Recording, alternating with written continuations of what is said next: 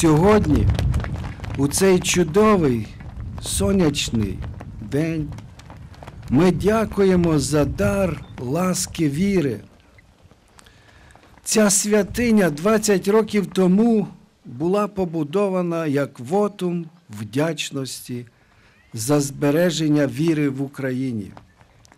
Мешканці Довбиша з радістю привітали тут фігурку Матері Божої з Фатіми. Згодом цей храм був проголошений як санктуарій Фатімської Матері Божої.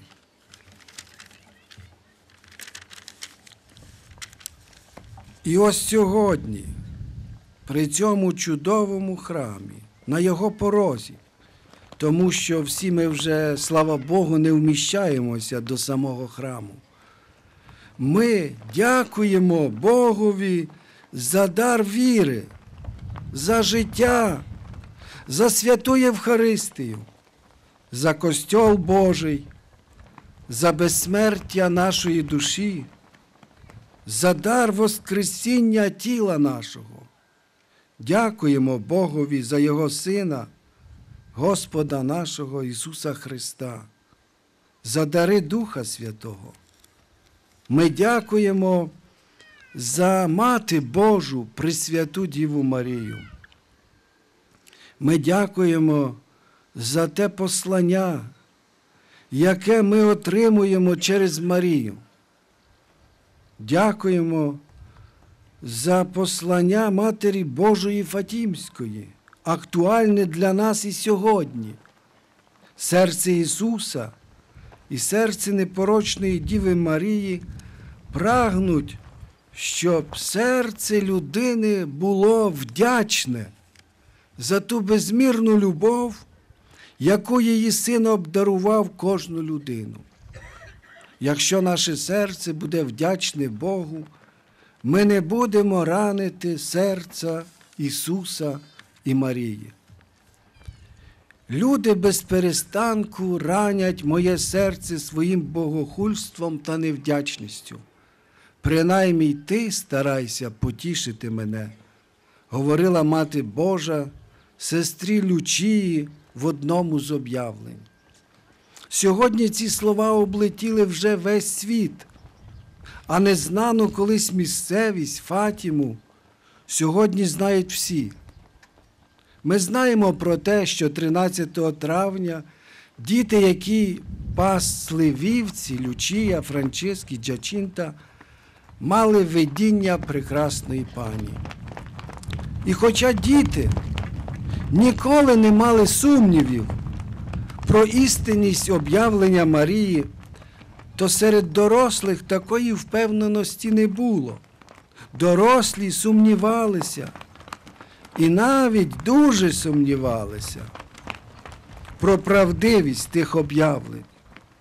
На додаток того всього, тими дорослими були батьки, брати та рідні сестри дітей. Вони не тільки сумнівалися, але й були не на жарт занепокоєні подією тих об'явлень. Можемо собі уявити, коли до далекого села, починаючи день в день, їдуть люди на конях, бричках, приходять пішки, стукають в двері сім'ї до Лучії і хочуть побачити дитину, якій було об'явлення Матері Божої. Ці люди прибувають вже з самого ранку, коли треба впоратись по господарству, вигнати вівці на паствисько, випити хоча б каву зранку. А тут вже хтось стукає в двері і каже: Добрий день, пане, чи не були б ви такі ласкаві? І що можна на це сказати? Якби це було один день, але це з дня на день повторяється одне і те ж. І як же ж тут бути ласкавим? Одні прощаються, а другі ось ось приїжджають і знову. Мама Лучії вже врешті, відправивши приїжджих, йде на город. Там треба подивитись, як росте кукуруза, буряки, чи не пора вже зривати помідори, а там ще й посадила огірки. Треба йти подивитися на город. Отже, приходить, а кукурудзи вже нема. Бо вона, поки вона розмовляла з ласкавими людьми, їх коні кукурудзу вже з'їли. Походили по буряках і лягли відпочивати там, де посаджені огірки. Моя мама, вспоминає Лучія, говорила тоді до мене: тепер, як будеш хотіти їсти, підеш до своєї прекрасної пані і попросиш про це у неї. А люди не перестають йти. Вони спочатку просять Лучію, потім просять розказати, як то було. Приходять і такі, які просять молитися, бо донька хвора, син п'яниця, чоловік, бо внучка, бо хтось не бачить, хтось впав, хтось зламав ногу, безліч, безліч благань, прохань і критики. У мами Лучії терпець, можна сказати, вривається. Вона цього не витримує, бере свою дитину за руку, десятирічну Лучію, веде її до Ксьонза Пробоща і говорить. Зараз прийдеш і скажеш, що все те, що ти говорила, була чиста брехня. Луція йде, бо боїться. Моя мама, вспоминає Лучія, цілу дорогу правила мені свою проповідь. У певному часі я сказала їй тремтячим голосом. А, а, але ж, мамо, я маю сказати, що нічого не бачила, як я насправді бачила. Мама замовкла. І решту дороги ми йшли мовчки. А коли ми дійшли до плебанії Ксьонза Пробоща, мама зупинилась і знову сказала: Слухай мене дуже уважно. Я тільки хочу, щоб ти сказала правду. Якщо ти бачила, то скажи, що бачила. Якщо ти не бачила, то признайся, що ти збрехала. Ксьонз Пробощ прийняв їх в той день у себе, у себе в канцелярії, дуже сердечно випитував малу лучію з гідною повагою, потім змінював ті самі питання, потім знову випитував те саме, зважаючи на те, чи у її відповідях не знайдеться протиріччя. Коли закінчив випитувати, встав, знизав плечима, попрощався з мамою Лучії, нічого не відповівши на те, що все почув. Ось в такій атмосфері прийшов день 13 липня. Лучія під час видіння того дня просить прекрасну пані. Хочу, каже їй, щоб пані нам сказала, ким є, і зробила чудо, щоб всі повірили, що пані нам з'являється. Відповідь Марії була наступною: в жовтні я скажу, хто є, є і чого хочу. І я зроблю чудо, щоб всі повірили.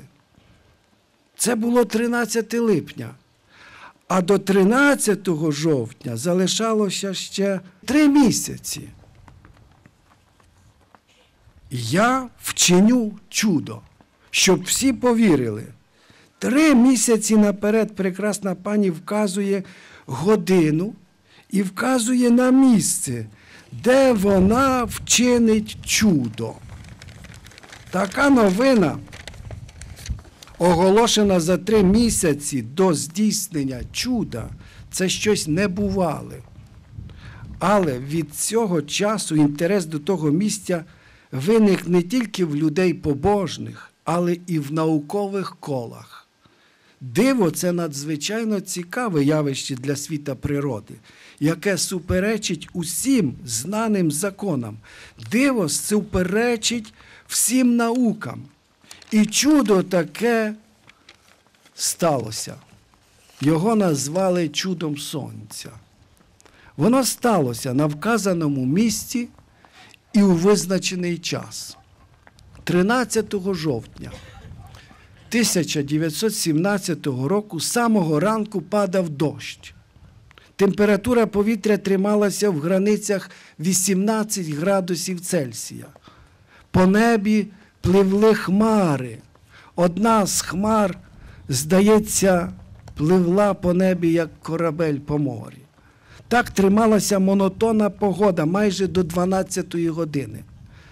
Пару хвилин перед 12-ю годиною хмари швидко розбігаються і зникають. Температура повітря піднімається до 35 градусів вмить за 5 хвилин.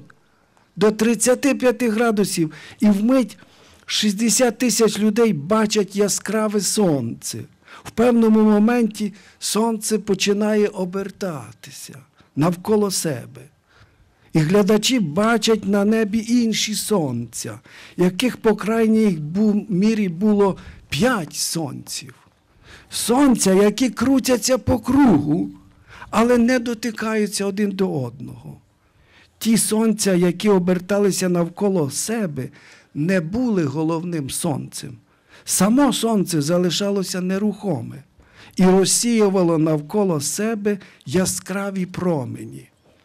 Потім одно із сонць почало падати на землю, чим викликало несамовитий страх серед присутніх і тисячі, 60 тисяч людей падають на землю в болото, каючись в такий спосіб за свої гріхи, що тоді вже було великим чудом віри численних людей.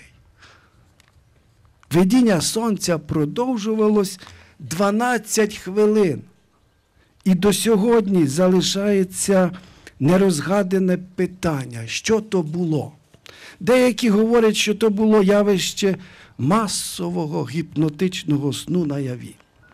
Або що то було діяння сітківки ока на організм людини при різкій зміні температури. Існує, однак, питання, на яке наука не спроможна відповісти. Зокрема, ким є та особа, яка зуміла передбачити очікуване явище наперед за три місяці, якщо можна, як можна було передбачити щось таке, якщо навіть при сьогоднішніх високорозвинутих технологіях метеорології ніхто в світі сьогодні не може передбачити, де появиться проста веселка, куди вдарить блискавка, де буде, де підніметься цунамі. Сьогодні ми не можемо це передбачити. Отже, питання, хто та особа, яка зуміла передбачити таке явище. Вказала при цьому на місце і вказала земний час очікування чуда. Безумовно, серед людської інтелігенції такої особи немає. Отже, вона має бути з іншого світу. А при цьому вона може впливати на земні явища. З цього приводу знову проаналізуємо все, що прекрасна пані сказала дітям. І нас вражають власне ті слова 13 липня, коли Марія каже, я вчиню чудо, щоб всі повірили.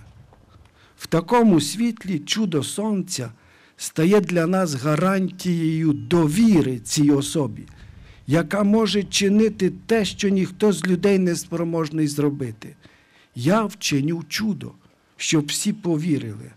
Але якщо вона дійсно чинить чудо, то це значить, що все те, що вона говорила дітям, це не пусті слова.